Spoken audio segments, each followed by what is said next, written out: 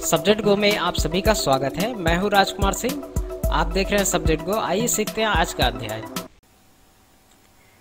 Subject गो में आज हम जानेंगे कि ट्रिपल सी कंप्यूटर कोर्स करने से कौन कौन से गवर्नमेंट जॉब जो है मिलते हैं। यानी कि ट्रिपल सी कोर्स अगर हम कर लेते हैं अच्छे तरीके से कंप्लीट कर लेते हैं पास तो उसके बाद हमें कौन कौन सा जो है सरकारी नौकरी मिल सकता है इसके बारे में।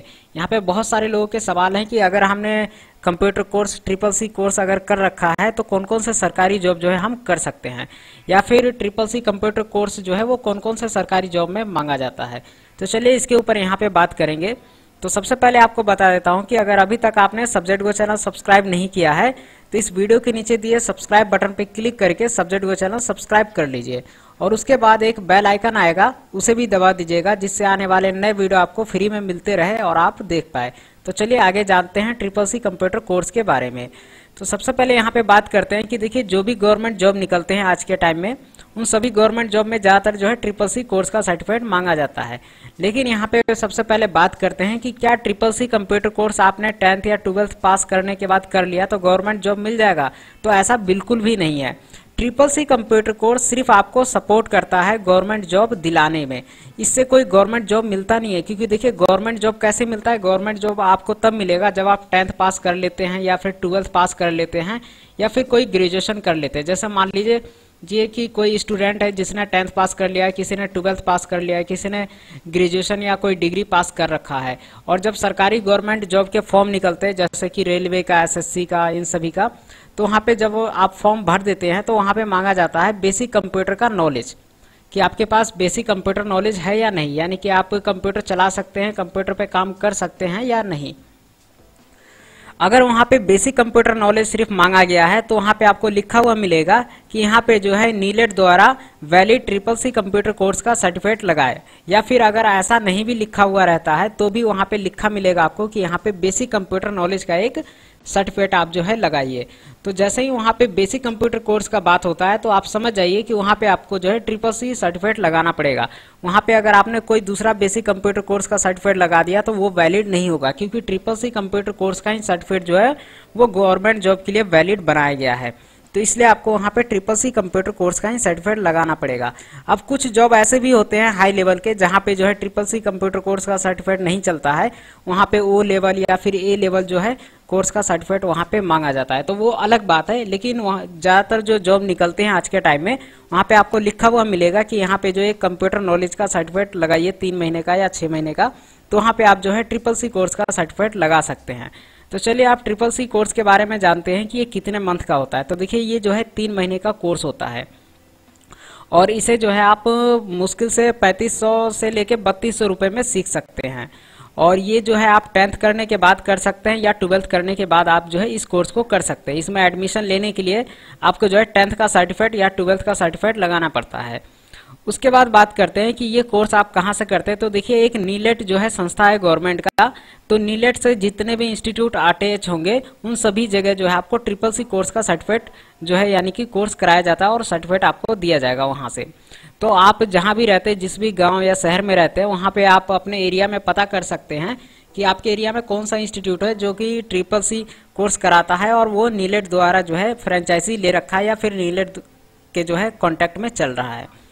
उसके बाद बात करते हैं कि इसके अंदर क्या सिखाया जाता है। तो देखिए, इसके अंदर मैंने पहले ही बता रखे हैं कि ट्रिपल सी कोर्स क्या होता है और इसमें क्या क्या सिखाया जाता है। अगर आपने इसके बारे में पूरा डिटेल वाला वीडियो नहीं देखा है तो इस वीडियो के डिस्क्रिप्शन में मैंने लिंक दे दिया है। वहाँ पे क्लिक करके आप चाहे तो देख सकते हैं। वैसे यहाँ पे मैं आपको शॉर्ट में बता देता हूँ कि इसमें क्या क्या सिखाया जाता है। तो देखिए, इसके अंदर सबसे पहले आपको सिखाया जाता है कंप्यूटर फंडामेंटल। कंप्यूटर का फंडामेंटल होता है इसके अंदर कि कंप्यूटर क्या है, कंप्यूटर पे काम कैसे करते हैं, विंडो क्या है, सॉफ्टवेयर क्या है, हार्डवेयर क्या होता है, इन सभी चीज़ों के बारे में। उसके बाद इसके अंदर आपको सिखाया जाता है notepad wordpad M S paint, और उसके बाद एम एस ऑफ़िस भी सिखाया जाता है, जैसे कि Excel PowerPoint M S Word उसके बाद आपको इसमें जो है एग्ज़ाम देना पड़ता है, यानी कि इसका जो है एग्ज़ाम होता है। जहाँ भी आप कोर्स करेंगे, वहाँ पे जो है आपको एग्ज़ाम फॉर्म फिल करना पड़ेगा लास्ट में, और उसके बाद जहाँ पे भी आपका सेंटर पड़ता है, वहाँ पे जाके आप जो है ट्रिपल सी का एग्ज़ाम आप ऑनलाइन दे सकते हैं या ऑफलाइन दे सकते हैं।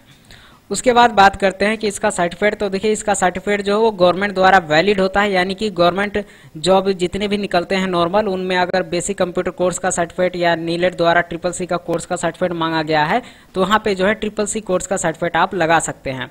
और अगर ये जो है आपको प्राइवेट जॉब में भी काम आता है, अगर आप गवर्नमेंट जॉब नहीं भी करते हैं तो भी अगर आपके पास ट्रिपल सी का सर्टिफिकेट है तो आप किसी भी कंपनी में दस से पंद्रह हज़ार का जॉब जो है कर सकते हैं प्राइवेट कंपनी में जाके, क्योंकि आपको जो है यहाँ पे कंप्यूटर का नॉलेज मिल जाता है इस कोर्स के अंदर। बात करते हैं यहाँ पे कि जॉब जो है कौन कौन से जॉब कर सकते हैं इस कोर्स को करने के बाद। तो देखिए, आप एक कंप्यूटर ऑपरेटर का जॉब कर सकते हैं डाटा एंट्री का काम कर सकते हैं। डाटा एंट्री यानी कि मान लीजिए कोई बिल है जो कि कागज़ पे प्रिंट किया हुआ है या कोई डाटा है जो कागज़ पे प्रिंट किया हुआ है और उसको फिर से कंप्यूटर के अंदर फ़ीड करना है कंप्यूटर के अंदर टाइप करना है देख के। तो वो होता है डाटा एंट्री का काम। उसके बाद इसके अंदर जो सैलरी होता है, वो 10 से पंद्रह हज़ार के बीच में जो है मिलता है। प्राइवेट जॉब का बात कर रहा हूँ मैं यहाँ पे। क्योंकि गवर्नमेंट जॉब में जब आप जाएँगे तो वहाँ पे गवर्नमेंट जॉब का जितना सैलरी होता है, उतना आपको जो है मिलेगा। वो तो आपको पता है। लेकिन यहाँ पे मैंने आपको एक तरीके से प्राइवेट जॉब के लिए बता दिया है। और गवर्नमेंट जॉब में भी जब आप जाएँगे तो वहाँ पे जो है कंप्यूटर ऑपरेटर का काम कर सकते हैं। यानी कि कंप्यूटर पे काम करना जो है आपको सिखा दिया जाता है इस कोर्स के अंदर। तो वहाँ पे आप जो है कंप्यूटर पे काम कर सकते हैं।